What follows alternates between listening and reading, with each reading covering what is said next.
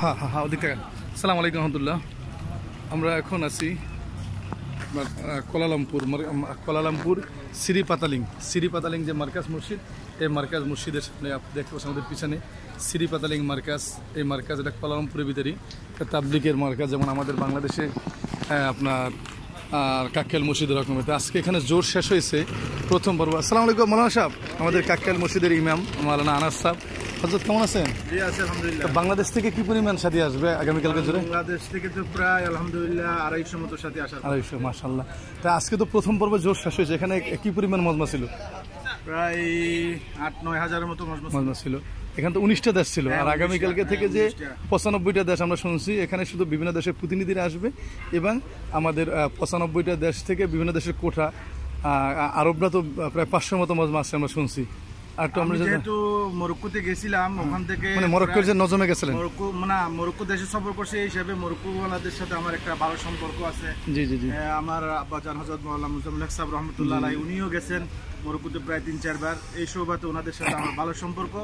তো আলহামদুলিল্লাহ ওখান থেকে আসার কথা ছিল প্রায় উনিশ জন উনিশ বিশ জনের মতো বিশ জনের মতো সাথী আসার কথা ছিল। ওখান থেকে প্রায় একান্ন জন সাথী। অলরেডি মার্কাজে আসছে।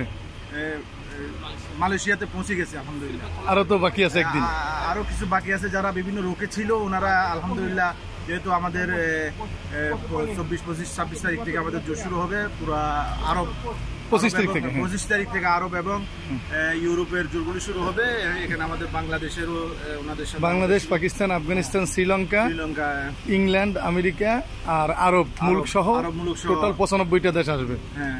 আলহামদুলিল্লাহ বিশেষ করে খুশির সংবাদ হলো জর্দান থেকেও প্রায় অনেক লোক আসতেছে প্রায় ওনাদেরও প্রায় ত্রিশ জনের একটা কোটা করে দিছে ওখান থেকে। তা প্রথম পর্ব যে জোর হইল এখানে আমাদের হজরতজি আসার পরে এখানে সাথীদের অনুভূতিটা কেমন? যারা জোরে শরিক হয়েছে উনিশটা দেশের সাথী।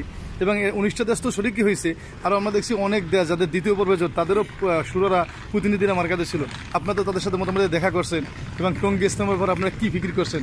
আর হজরতজির ব্যাপারে তাদের অনুভূতি কেমন? যে এখানে আসতেছে এয়ারপোর্ট থেকে নিয়া ইস্তেকবালের জন্য এখানে মালয়েশিয়ান এবং ইন্দোনেশিয়ান প্রায় ওই যে থাইল্যান্ড তারপরে সিঙ্গাপুর তো এ সময় কম্বোডিয়া এই সমস্ত দেশের লোকজন সব যে এমনভাবে লাগে যেন ওনাদের কি হারাই গেছে বা হারানো জিনিস পাইছে এরকম মানে এরকম আগ্রহ সহিত ওনাকে দেখার জন্য ওনাকে জন্য সবাই আমি যেটা আমরা দেখছি যে করলাম। যে প্রায় এগারোটা সাড়ে এগারো পর্যন্ত ফজরবাদ বয়ান করছে কি সাথীরা বিরক্ত হয়েছে কিনা বা সাথীরা কোনো ওঠা বসা